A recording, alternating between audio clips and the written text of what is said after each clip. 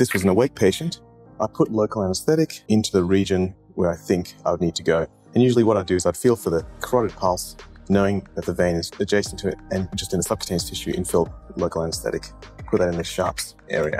I find the right location, so say a couple of centimeters above the clavicle, and then I put my needle. So right there is my needle on the screen, and that's going right above the carotid. So I'm going to actually just move it across so it's near where the vein is. I'll go at about a 45 degree angle, always trying to keep an idea of where my vein is.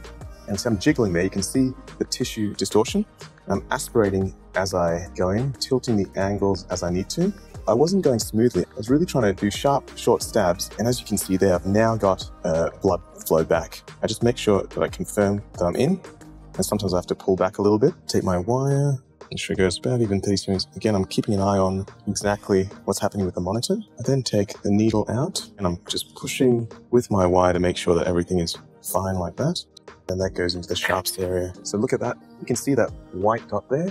That is the wire and it's going into the IVC very far away from where the artery is, the carotid artery is nowhere near that wire. So that's really important. I'm pretty confident I'm in the right spot. I make sure that my wire can move adequately. Next part, I make an incision and I just go alongside the wire, make sure I'm not cutting down onto the wire and just do a quick stab like that and make sure the wire is free within that extra five to 10 millimeter incision. At this point, you often get a lot of blood flow occurring, a lot of bleeding, so I just dab that. I now load the dilator just onto the wire and I make sure that I've always got eyes on the wire. It never goes in past the dilator. And then I just do a short dilation. Just remember, I'm not dilating all the way down to the hub because that can cause a laceration and tear this SVC. So I'm only going in about maybe three centimeters or so. I'm now ready to put the wire. And again, in my sterile field, I just load the tip of this wire across like that.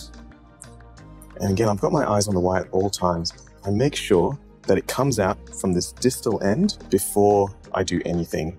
So I can see that that's all safe.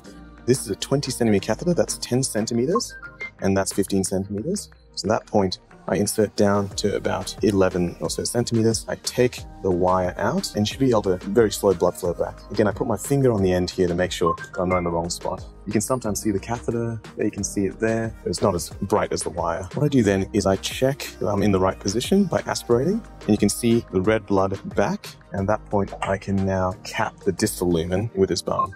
Just like what I did for the distal lumen, I check and aspirate. You can see the red blood come back and that's all good. I just check that all lumens are working before I can use this. So make sure it's around 11 centimeters, which is there, and then I'm able to tie it down.